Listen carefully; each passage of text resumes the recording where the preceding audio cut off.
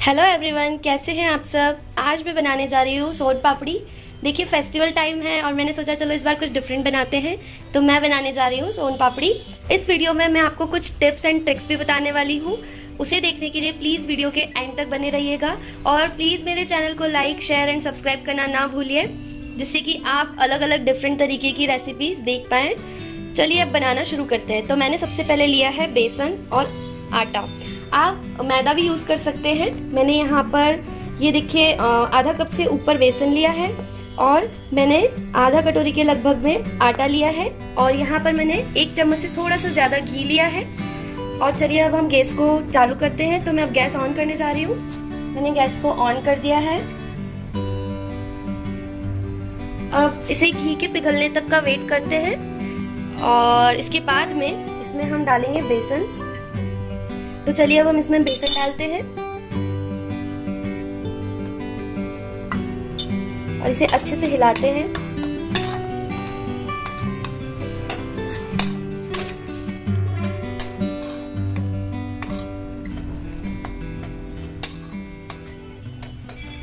अच्छे से बेसन में घी मिक्स हो जाना चाहिए।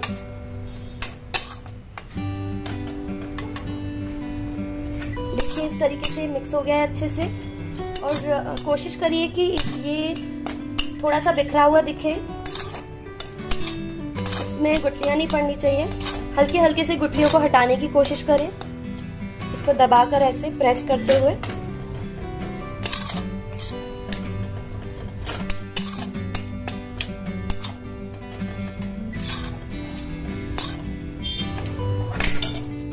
देखिए, इस तरीके से सिकना स्टार्ट हो गया है। गुटलियाँ इसमें कम पड़ गई हैं। देखिए इसको, कैसा बिखरने लगा है।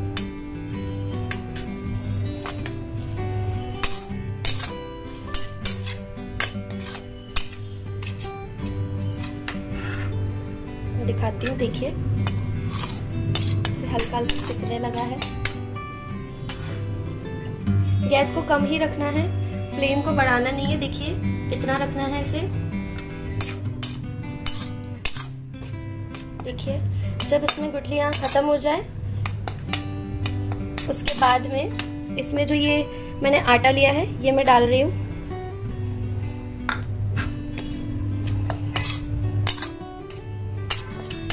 इसे अच्छे से मिक्स कीजिए और इसमें थोड़ा सा घी डालने की ज़रूरत है।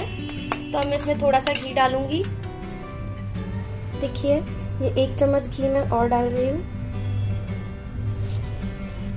इस घी को इसमें अच्छे से मिक्स करना है।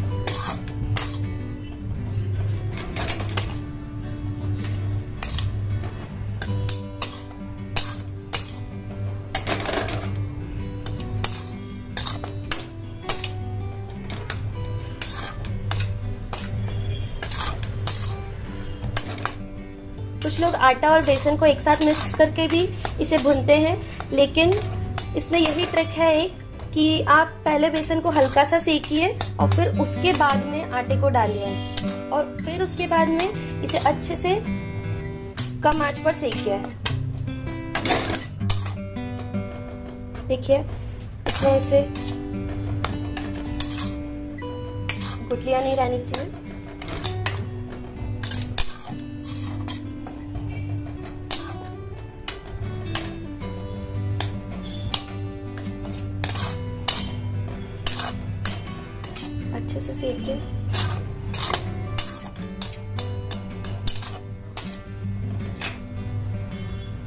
इसे ऐसे सेकते रहिए और बिल्कुल कम आँच पर रहने दीजिए।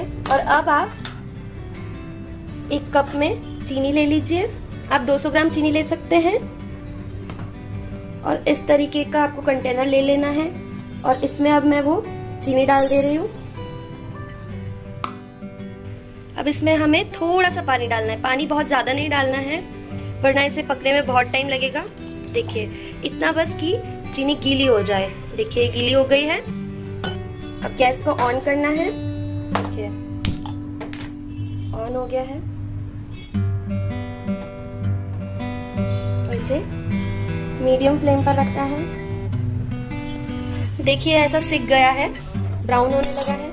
इसे थोड़ी देर और सेकिए। हल्का सा गोल्डन ब्राउन हो जाना चाहिए। अब इसमें मैं ये डाल रही हूँ। इलायची पाउडर।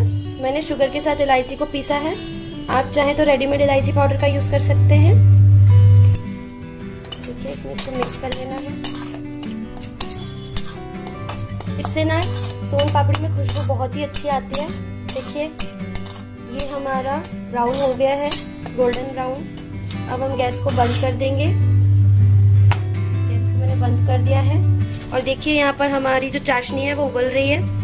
इसे 30 से 40 मिनट के लिए पकाना है। ये थिक हो जाना चाहिए एकदम।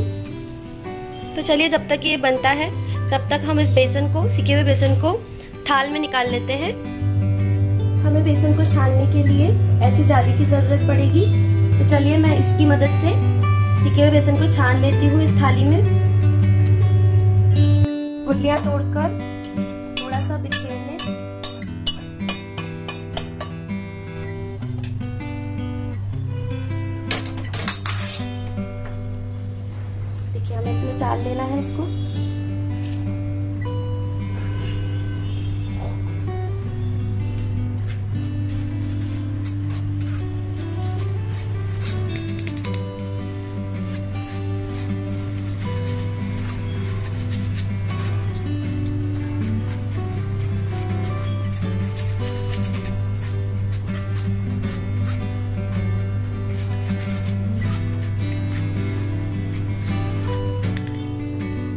देखिए मैंने इसे, डाल लिया है और ये ऐसा हो गया है।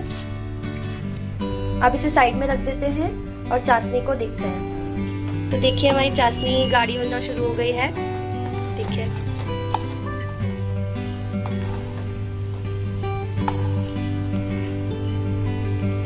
चलिए अब इसे चेक करते हैं। मैंने यहाँ पर बॉल में पानी लिया है। इसमें हम ये चाशनी डालकर देखेंगे कि ये हुई है या नहीं हुई है। देखिए, हमारी चाशनी है। इसको लिया है मैंने, यहाँ पर इसमें। देखिए, चाशनी बनकर रेडी हो गई है। अब इसे हम इसमें डालकर देखते हैं। मैंने पानी लिया है बाउल में, इसमें हम डाल के देखेंगे, बनी है कि नहीं। तो देखिए, इस तरीके से हमारी चाशनी बन के रेडी हो गई है। इसमें एक ट्रिक है।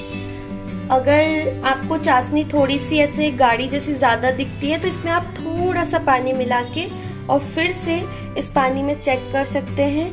थोड़ा सा ये स्टिकी होना चाहिए, एकदम हार्ड नहीं होना चाहिए।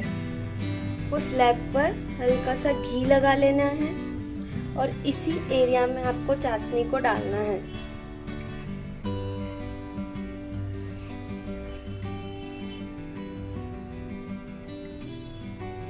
को हमें यहाँ पर डाल देना है। और एकदम ये बहने लगे, तब थोड़ा हल्के हल्के से डालिए।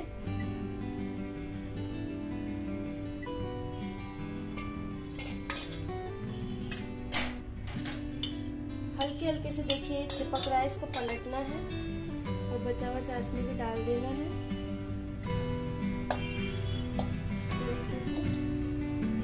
सारा चाशनी डाल दीजिए। हल्के हल्के से देखिए ऐसे पलटिए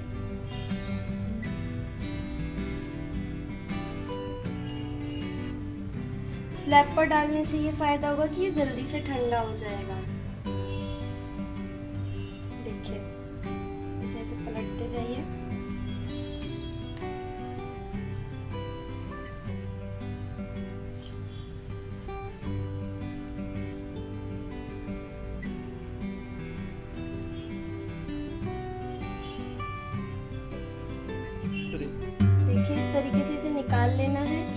थोड़ा गर्म है इसे, ऐसे करिए। हाँ। हमें इसे ऐसा करते जाना है। देखिए, अपना कलर चेंज कर रहा है। ध्यान से करिएगा एक गर्म बहुत है।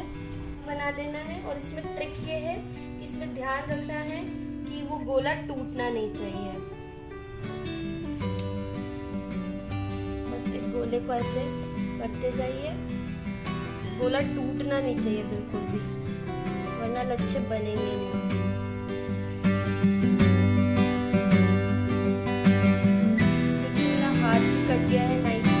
बताते हुए। इसलिए मैं अच्छे से कर नहीं पा रही हूँ। आपको इसे अच्छे से करना है और इसमें अच्छे से ये जो मिक्सचर है, इसको लपेटना है।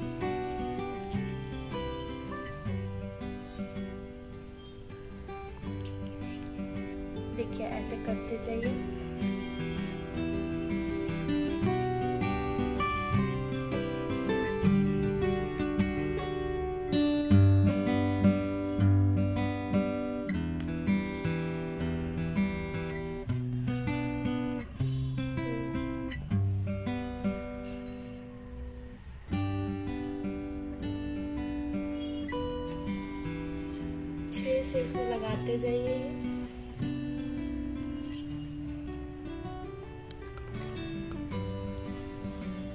तो देखिए, हमारे लच्छे निकल गए हैं इसमें से। देखिए, कितने सारे लच्छे निकले हैं। अब बस इसमें से बेसन झाड़ेंगे हम और सारे लच्छों को निकालेंगे। देखिए, अब इन लच्छों को मैं कटोरी में सेट कर दे रही हूँ। इस तरीके से आप आप इसे प्लेट में भी जमा सकते हैं एक जैसा करके। कटोरी में कर रही हूँ। अब मैं आपको इसे निकाल के दिखाती हूँ, कैसा दिख रहा है। देखिए, कितना अच्छा बना है हमारा सोन पापड़ी।